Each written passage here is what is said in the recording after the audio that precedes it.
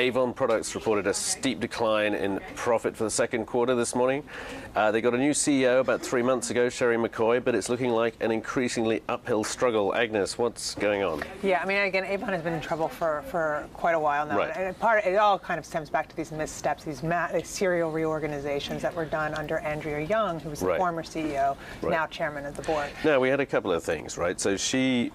The board decided to get a new CEO, but they didn't really kick her out. They didn't really kick Andrea Jung out. They sort of kicked her to the next door office as executive chairman. Now, we thought that was a bit odd at the time. Yeah, and again, I, I really feel like I mean, the, the, you know, basically she had a plan for six years to kind of turn, you know, Avon's uh, operations around, and it's just it, it really kind of has failed. I mean, again, listening to Sheri McCoy on the conference call, it's pretty much an indictment of the previous leadership, Right. talking about you know the missteps that have gotten us here. It's taken a long time to get to this point. we need to get right. back to basics, Right.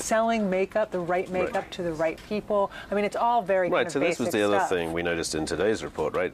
Sales reps are leaving now. One of the reasons people gave for keeping Andrea Jung around was, are the reps all admire her and look up to her, and well, Exactly. well, they'll only stick around if she sticks around. Well, they're leaving anyway, so Yeah, so I mean that, that's kind of like the last thing of like again, why are they keeping Andrea Jung around? I mean, given Right. the performance, and also I mean, if you're bringing in a new CEO who is going to shake things up and kind of you know critique what has been done before, I think Right. it's a lot cleaner if you don't have the former you know CEO there kind of sticking her finger into it.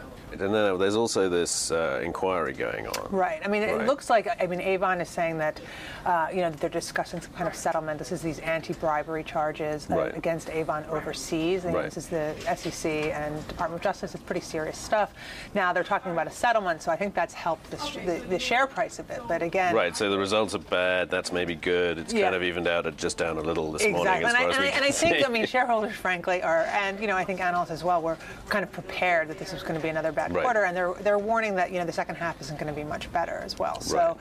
you know, again, I think it's it's one of these things where you got to look at if you have a new CEO who really you know wants to turn a company around, then they really need to take a look at why is Andrea Jung still in the chairman. Right, and that's a job for the board. I mean, this, Sheri McCoy has her work cut out. The board, see, Exactly. the board missed the chance to do a deal with Coty, which now looks quite Which like it might not have been so bad given the share price. And but now they really need maybe to focus on Andrea Jung again and say, okay, we need to leave the way clear. Yep. Okay, we'll leave it there. We'll be keeping an eye on Avon products, and we'll have more from Breakingviews tomorrow.